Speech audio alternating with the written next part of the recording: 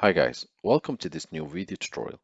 In this video I will show you how you could easily download and install MS Visual C++ Runtime. To begin, simply open your browser and type www.microsoft.com. As a next step, click on the search bar in the right and type MS Visual C++ runtime and hit enter.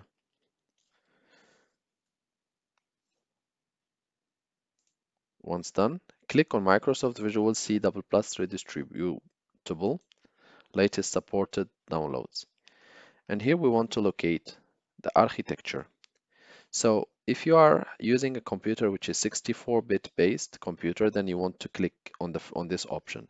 If your computer is 32-bit supported processor, then you want to click on x86.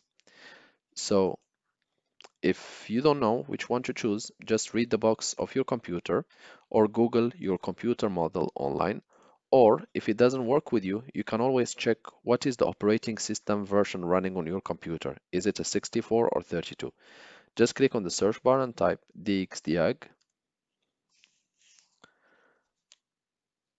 and wait a few seconds.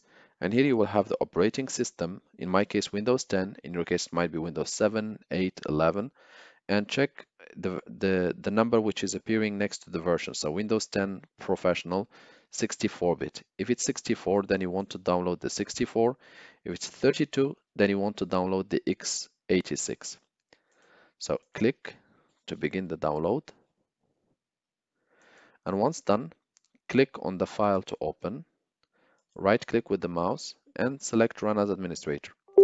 The user account control panel will appear and it will ask if you want to allow this app to make changes to your device. You can go ahead and click yes. As a next step, you, all what you need to do now is just click, select I agree, install, and the installation will begin. Thank you guys for watching and talk to you soon in a new video tutorial.